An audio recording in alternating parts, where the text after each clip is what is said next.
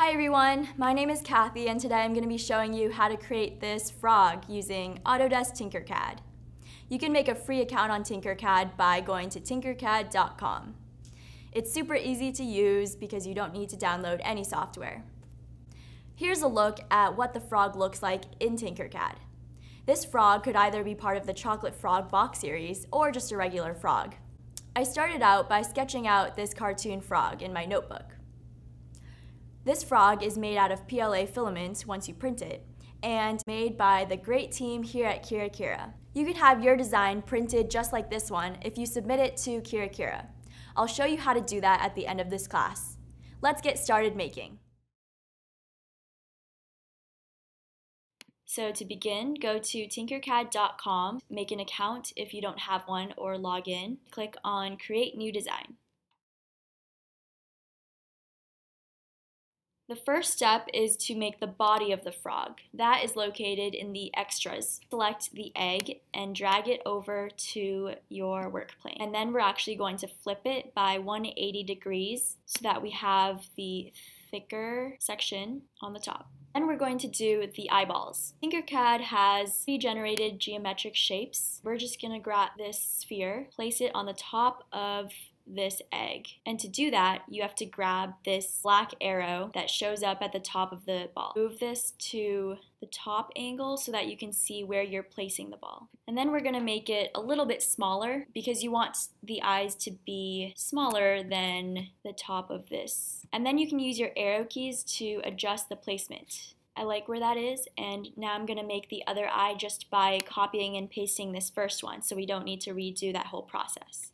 So Command C to copy and Command V to paste and drag this black arrow so that you can bring it back to the right level. Now you have your eyeballs. You can use these arrows to view all of the different angles of your frogs so you can make sure that they're placed where you want them to be. Group them all together. We're going to select the eyeballs and the egg and click on group. Next, we want to make the pupils. Select the sphere again, drag it onto your work plane, hold down shift. We're going to make them 4 millimeters in diameter. You can use your arrow keys to adjust where they are located. Now we have one of them and then Command C Command V to copy and it'll be hidden but you can use the black arrow to drag it up to where you can see it and use your arrow keys to adjust the placement just like we did with the first one. You can use the arrows to make sure that everything is where we want it to be before you group everything together. And the next step, create indents for where the nose will be located. Use the sphere once again. Instead of adding to the original egg, we're going to be subtracting. Click on the sphere and hold down shift. We're going to make this four millimeters, drag it up where you want the nose to be. Make this nostril is by using the hole tool. And to make that work, you want to make sure that this sphere actually intersects the egg click on the sphere and click on hole, you'll be able to see where it will be cutting away. Command C to copy that, Command V to paste, and use your arrow keys to adjust where you place it. You might need to move accordingly. Look at all the angles. We'll group these all together. You'll be able to see the cutout. Those are the nostrils. All right, we're gonna do the same thing that we just did, except use a different shape to make the mouth. So we're gonna use the round roof geometric shape. All you have to do is drag it to your work plane, turn it by 180 degrees.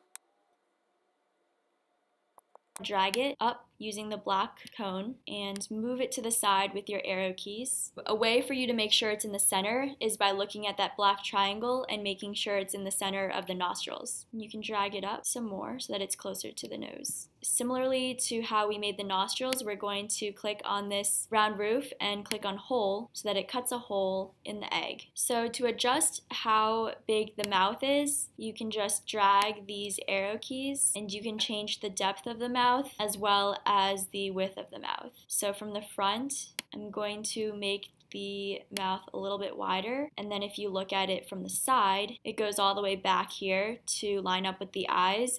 That's a pretty good depth for me. I group these all together and then it'll do the cutting away. But if you look at it from the side, you'll be able to see that the mouth goes inside. Next step is to create a tongue. To do that, we are going to use the round roof again. So drag the round roof here, make it thinner so that it looks more like a tongue. Five millimeters is a good width. And then we're going to use this arrow key right here, adjust the angle by 90 degrees, and then drag it higher, place it near the mouth. So right now it looks like it's in the mouth, but if you actually look from the side, it's not there yet. So we're going to make it a little bit shorter, three millimeters, drag the back so that it's 20 millimeters by 20 millimeters. Now if you look at it, you can see that it actually goes inside of the mouth. And then we can use our arrow keys to adjust the location. Now you can see it's resting inside the mouth. And just like we've done with every addition, Click on all of the parts and click on group. Now we have the tongue. Doesn't really look like a frog yet because we don't have the arms or the legs. Add the arms first. And to do that, we're going to drag this cylinder over. Make it a little bit smaller in diameter. Hold down shift, drag these dimensions six millimeters in diameter. To make them taller, click on this white dot on the top of the cylinder and drag it to 22 millimeters. And then place it right underneath the nostril. And make sure it goes inside of the egg so that it looks like it's part of the body. And we're going to copy and paste this leg to create the other leg and make it symmetrical in terms of placement. Now we have our legs. We need to add the webbed feet. So in the extras section, we're going to take this chick foot. It's not made for frogs, but it looks like it could be. To make it a little bit smaller, we want it to be about 12 millimeters is a good size. Drag it over to this leg and place it somewhere where the pole is not visible. You also want to make sure that the pole does not go outward back here. Copy this foot and paste it. Drag it to the other leg exactly how you did the first one. It's okay if they overlap a little bit because that'll just add more stability to your shape. Select both the body and the legs that you just created and click on group. You'll see that your frog now has arms. Now we just need to add the back legs. Now we're going to create the legs here, frog. So we're going to use the egg shape again to create the legs, extra section, and drag this egg over. Obviously don't want your legs to be the same size as the body. Hold down the shift key, drag these arrows to make the legs a little smaller, 10 millimeters to make it a little taller. So click on the shape and click on this, drag it to 24 millimeters. Drag the bottom arrows to make it 12 by 9 instead of a perfect shape. Turn the leg upside down. So turn it by 180 degrees and then we're going to tilt it by 22.5 degrees. Make sure it attaches to the egg. And to make the other leg, we're going to copy this one and paste it. You need to change the angle to 22.5 in the opposite direction. First, bring it back to the regular angle and then drag it again by 22.5 degrees attached to the egg. And then you can view your frog from all the angles just to make sure that the placement is right. And the feet that go on the legs are also the chick feet. Drag this over to your work plane. We're gonna turn it by 22.5 degrees. Drag it backwards into this leg that we just created so that you can't see that pole. Turn your shape around just to make sure that it's hidden. Copy this foot and paste it so that we can create the other foot. And just like we did with the arms, you want to make the foot face the other way and hide it inside the body of the frog. Select all these pieces and group them together and now you have your frog.